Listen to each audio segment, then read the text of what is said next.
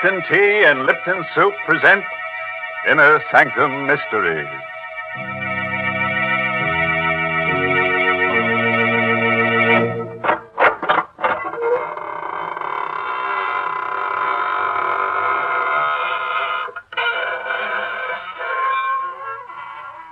Good evening, friends of the Inner Sanctum. This is your host to welcome you in through the squeaking door to another half hour of horror. Come in, won't you, and sit down. I hope you'll forgive me if I don't get up, but I'm terribly tired. I spent last night with a friend who's a book collector, specializes in bestsellers. He certainly showed me some interesting ones. In fact, he tried to bury me in one. Because all the very best sellers have corpses in them. Why, that's downright silly. Most cellars do not have bodies in them. But of course they have, Mary. You know the old saying, even the walls have ears. You certainly don't make a house sound homey at all. Why don't you talk about the kitchen with its good, warm smells of homemade food? Yes, and while you're at it, you should mention Lipton tea, because Lipton's makes good food taste better. You see, folks, Lipton's has a brisk flavor. And brisk means that Lipton tea always tastes fresh and full bodied, tangy and spirited, never flat or wishy washy. That's why Lipton's is such a grand drink at mealtimes, and why it's the perfect beverage to serve when you're entertaining. That's right. That brisk flavor makes all the difference in the world. So, folks, try Lipton's, won't you? And now, friends, if you're willing to gamble with your peace of mind, put out the lights and listen to Death by Scripture. It's an original radio play by that old gravedigger, Robert Newman. Yes, and our star tonight is Stefan Schnabel, who plays the role of Stefan. The place is China, somewhere near the outskirts of Shanghai. A man made wasteland ravaged and devastated by war. Driving through an abandoned village on his way to a camp for displaced persons is Major Roger Mason. Suddenly, the glare of his headlights picks out a strange, wild eyed figure who stares, then scuttles into the shelter of an alley. Mason hesitates for only a moment, then stops his jeep.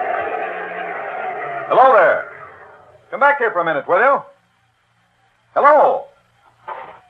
Okay, if you want to make a game out of it. Up This alley somewhere. Huh. Oh, there you are. Please. Please, Master, please. I mean no harm. Easy, Uh, easy now. No one's going to hurt you. Certainly not me. I'm an American on my way to Camp 14, Camp 14? the camp for refugees, displaced persons. I know. I was there. Yes, I thought so. How was it they let you leave? They did not let me. I. I ran away. Oh? Why? Because to stay would have meant death. Seems to me it would be a lot more dangerous to go wandering around here. Suppose I take you back there with me. No. No, no, please. But I tell you, there's nothing to be afraid of. You think not? Very well. What can man do against fate? I tried. You're a witness that I tried. But I warn you, if I go back, it will mean death, not just for me, but for others. Many others.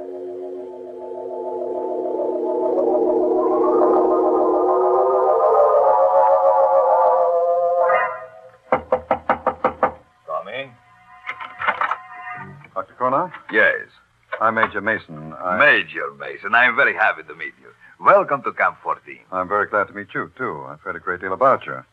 The job you've been doing here. Oh, Dad. There was not much I could do when we were all prisoners. But now that we have been freed and are beginning to get food and medical supplies, it is almost like a holiday. May I present Miss Mia Singh, who has been assisting me? Major Mason? Miss Singh? I brought someone here with me, someone I picked up on the road, and Stefan. I did not want to come back. He made me. well, then he does come from the camp here? Yes, of course. A curious case. We have never been able to discover his last name or even his nationality. We have many kinds here, you know. White Russians, Koreans, Siamese, Burmese. Stefan, why did you do it? Why did you run away? Because I, I was afraid. Because of this. Another one.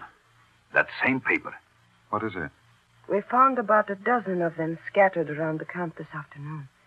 Uh, read it. You have not escaped. There is no escape.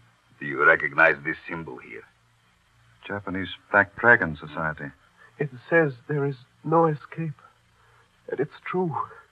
I tried to escape, and what happened? He brought me back.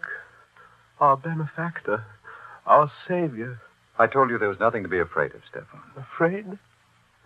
Is death something to be feared? It is the one escape they cannot take from us. Death, to sleep, to rest, Hmm. to rest. He's really in a pretty bad state. Couldn't you put him up in the administration building? Hmm. That might be exactly what they want. Uh, what do you mean? It is not like the Black Dragon Society to warn someone they mean to kill. But suppose they don't know exactly who they do want. Wouldn't they do what they seem to have done? Make a general threat? And see who showed fear? Who did run away? The war is over, Kornoff. The Major is right, Doctor. Are we still living in the past?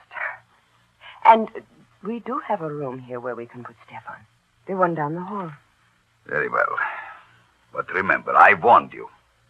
I, too, think it will mean death.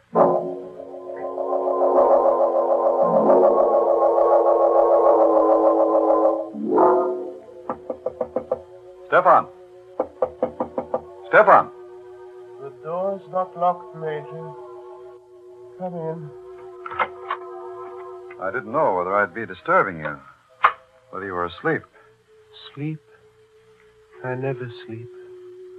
Never. You're feeling better, though, aren't you? Safer? It is at least quiet. A man can think. I was lying here, trying to remember. Trying to remember what? If I knew, I would know everything. But I don't know. There is much that I can remember. Such as what, Stefan? The first one, the greatest one, many lifetimes ago. The garden with a wall around it.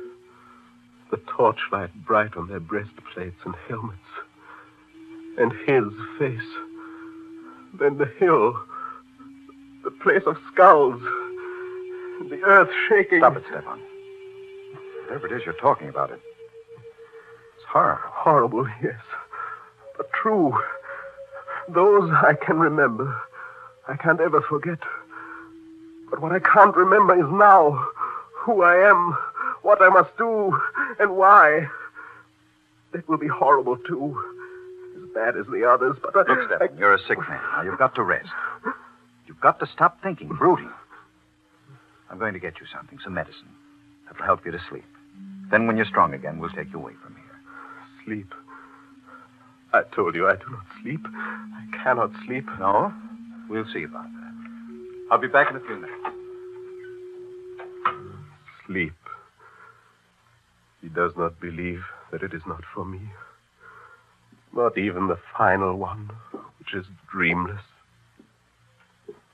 What's that? Outside the door. This door. But who. Who is that? Who is there? No! No, no, don't!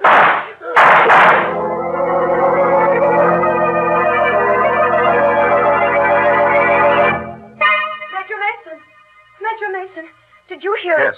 Down at the end of the hall there, Stefan's room. Come on, quick. Major Mason, near. This way, down here. It sounded like shots, as if. It was. Look. Stefan. No, don't touch him. Let me see. Dead. Unless he's not flesh and blood. Three slugs right over the heart. Must have been fired right from the door there, and. Good Lord. What is it? His pulse, still there. Where's your searcher? Right next to the office, what there is of it. Here, help me carry him in there. We'll operate immediately.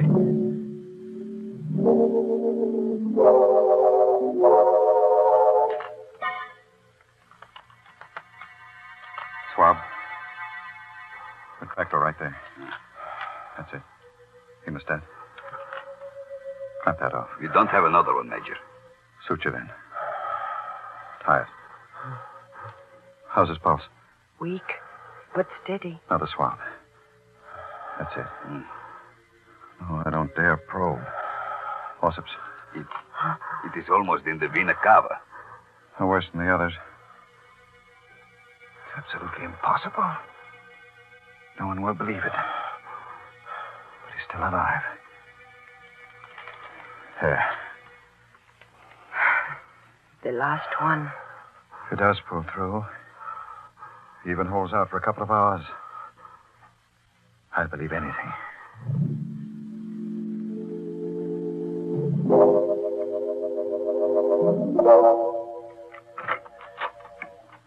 How is he, Mia? I don't believe it either. But he's better. His pulse is still strong, and there are no signs of shock. I'll stay with him for a while. You go get some sleep. No, I, I'm all right. I'd like to stay until we are sure that. Major, look. He is coming too. No. Don't make me come back. Don't make me do it again. Don't. Hello, Stefan. How are you feeling? What? Oh, yes. The American. Why are you looking at me like that? Because you have no right to be alive now. And you wouldn't be if it were not for him. I never had any right to be alive. But I am. And I won't die. I told you I wouldn't. I couldn't. Until I do what I have to do.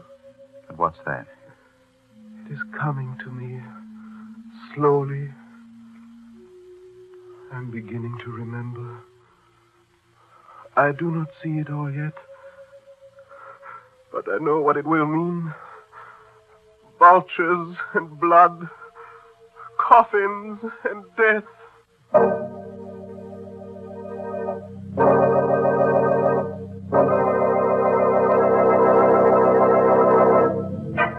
Well, now we're starting to get somewhere. But I wish our friend with a bad memory would stop talking about what he has to do and do it.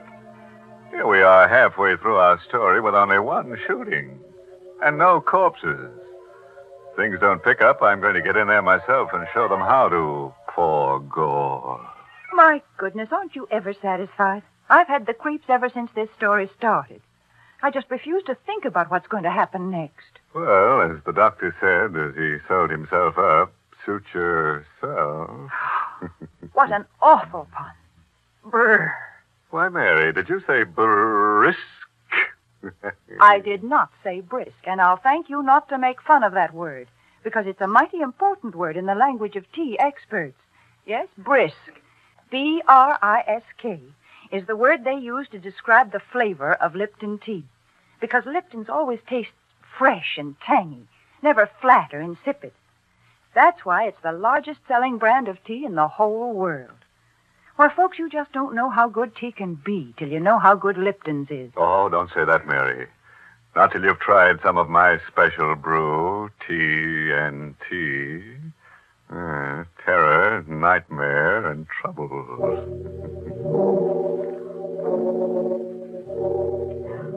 It is the next evening, about ten o'clock at night.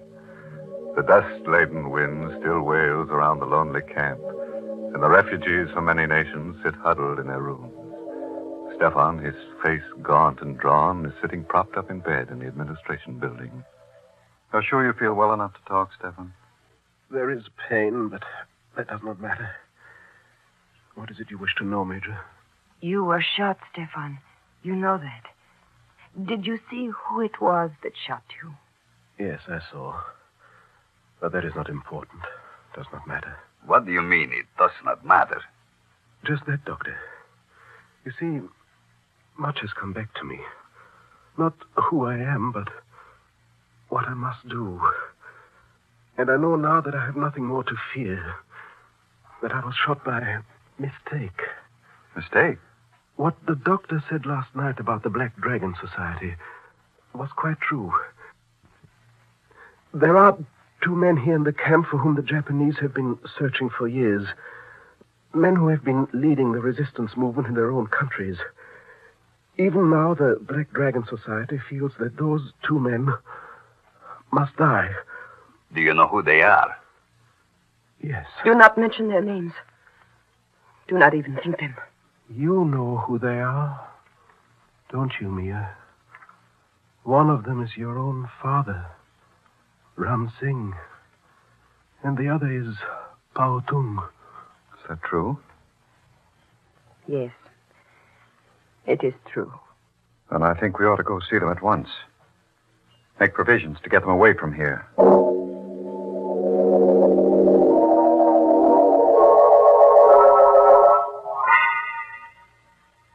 That, then, is the situation, gentlemen. And I should like to have you escorted to Shanghai as soon as possible. You are very kind, Major. We felt that our best protection lay in anonymity. We may have been wrong. As for the danger, even though Japan has been beaten, not all the members of the Black Dragon nor their agents have been rounded up. So. Nonsense, Ram Singh. You always were too cautious. The Major is right. We should have declared ourselves, returned to our countries at once. I, for one, will be happy to do so now. Good. There are a few things in my room I would like to get first. It will not take but a moment. I will meet you back here. Fine. You still look worried, Father. Do I? Perhaps I am. After all these years, waiting, working, suffering, to be so close to what I waited and worked for. But what is there to be afraid of? The Major has promised you protection. I know, and I'm profoundly grateful. But I keep wondering how Stefan knew. What was that? Out in the compound, and it sounded like. Pao Tung. Stay here, both. No, wait, I'm coming with you. Father, you stay here. Lock this door and do not let in anyone unless you know who it is. Major Mason! Major Mason, where are you? Over here. This blasted dust is so thick. Who's that? Kornoff, you heard it too? Yes. Sounded as if it came from. Here he is. Pao Tung. Yes. Dead? Very. Throat cut from ear to ear. No. No, he. He just left us. He was only gone a minute. That minute was all somebody needed.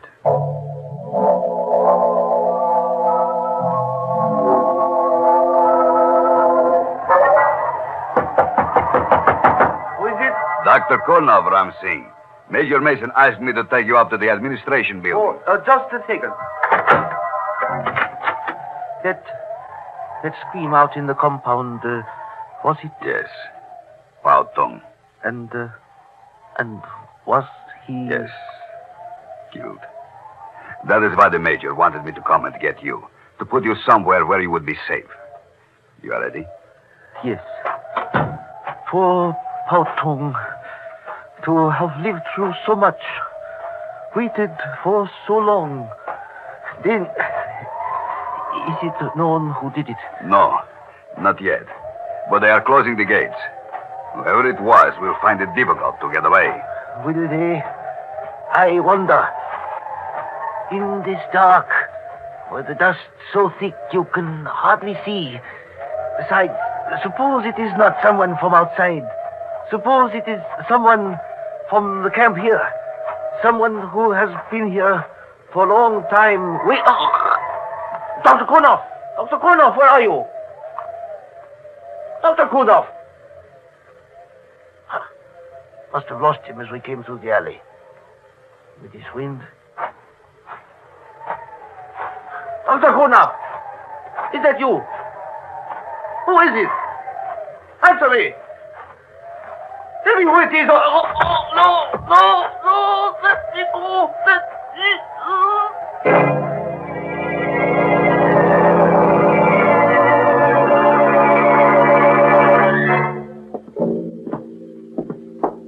Open the door for me, will you, Mia? Of course, Major. Where are you going to put him? Yeah. Right here, in the office. You told the guards at the gate? They are closed now. No one will get out. But. Stefan, what are you doing up? You should not be out of bed. I. I heard something outside. A cry, and I had to see. Which one is it? Pao Tung. Dead? Yes. His throat cut. And the other? Your father, Mia. Dr. Kornoff went to get him. He is bringing him here where he will be safe. Now go back inside to bed. Father? Dr. Kornoff? Kornoff, where is your father? Isn't he here? Why, no. You were going Didn't to... you go get him? Yes, yes, I did.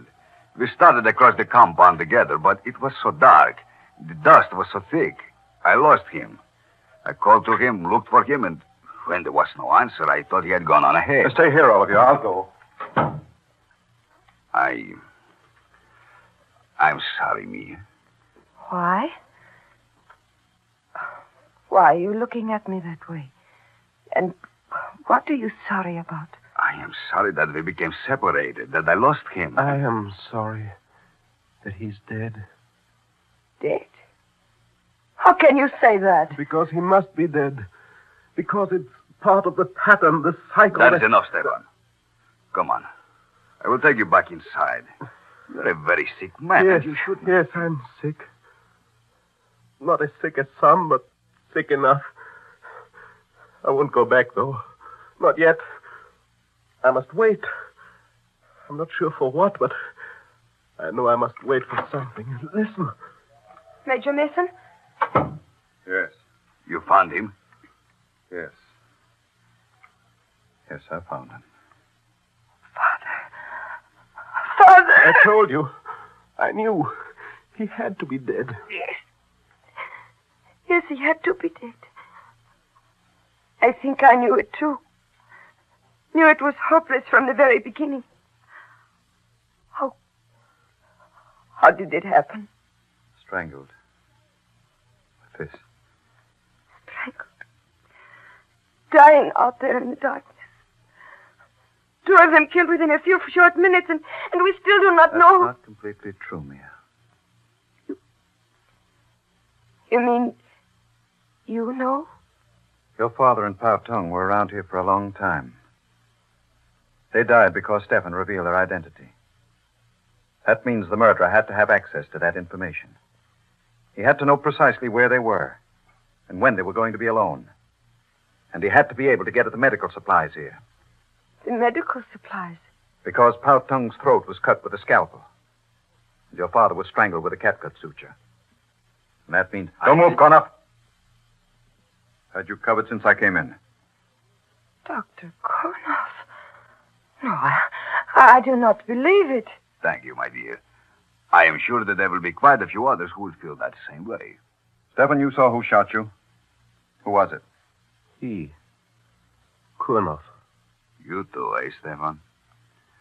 Well, I have a little something here I'd like to show all of you. Something. Major, that- look out! Oh!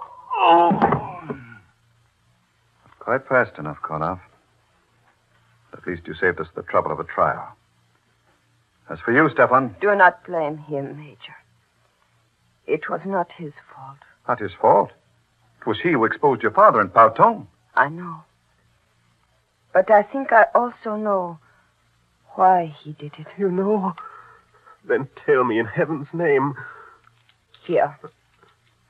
This should not come from me, but take it. Money? You are giving me money? Yes.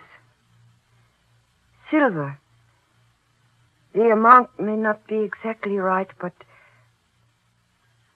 now do you understand? Yes. Yes. Thank you. And bless you. I do understand everything. What I have done and what I must do. What does he understand? Why did you give him that money? There was once someone else who betrayed a friend and was paid for it with silver. Thirty pieces to be exact. You mean Yes. In the Bible. One Judas Iscariot. what? That, that's mad, insane. Are you implying that he. that that's why he didn't die when he was shot? That he's eternal, immortal? I do not know. Perhaps he is not always the same. Perhaps in each crisis, in every period of history, there is always one who must play the role of the betrayer, even against his will. But this much I do know that he is not immortal. Wait a minute. I just remembered. The story of Judas in the Bible. Come on, quick. What's that? The money I gave him on the floor. And, Good heavens. yes, Matthew 27, as I recall. And he cast down the pieces of silver in the temple and departed, and went and hanged himself.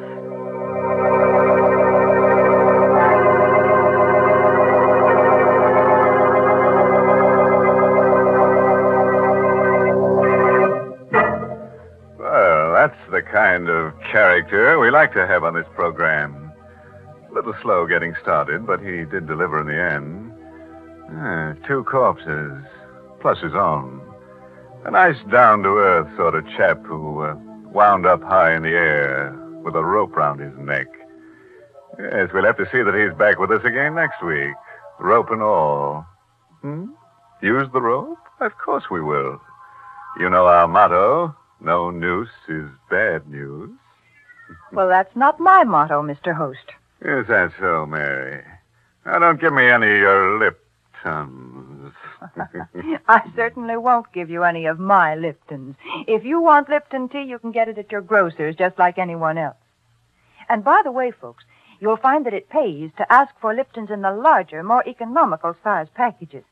That way you not only save money, but you also make sure that you have a good supply on hand of that brisk flavored Lipton tea. And you know, Lipton's is always welcome.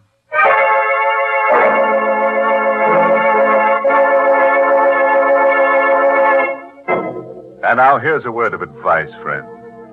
If you should be invited to spend the weekend with a friend in the country, and he should wake you at midnight carrying a lantern and shovel, and invite you to go burying with him, make sure he doesn't mean burying with a U. And when I say you, I do mean you. oh, by the way, this month's Inner Sanctum Mystery novel is The Whistling Legs by Roman McDougald. Yes, and next week's Inner Sanctum story, directed by Himan Brown and brought to you by Lipton Tea and Lipton Soup. Next week's story is about a honeymoon couple. Yes, funny kind of characters to be on this program, eh? Is that what you were thinking? Well, this couple finds a corpse right in the middle of their bed. And they can't ask the corpse to leave, not to its face anyway, because you see, it has no face.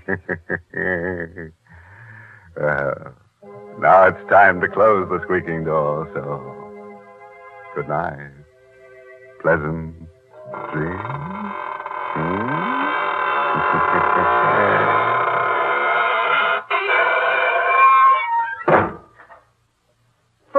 A modern food with an old-fashioned homemade flavor. Lipton's noodle soup. You see, Lipton's takes no time to prepare, and yet it's blessed with a real fresh cooked chickeny taste. And what's more, it's swimming with tender golden egg noodles. That's why Lipton's is such a grand food to give your child when he comes home from school for lunch. Yes, it's quick and it's appetizing. You'll find that children enjoy Lipton's just as much as grown-ups do because it has the same good spices, the same rich, old-fashioned flavor as the chicken soup you'd make right at home. So, friends, don't forget to serve Lipton's noodle soup. And don't forget to tune in next Tuesday night for another Inner Sanctum Mystery.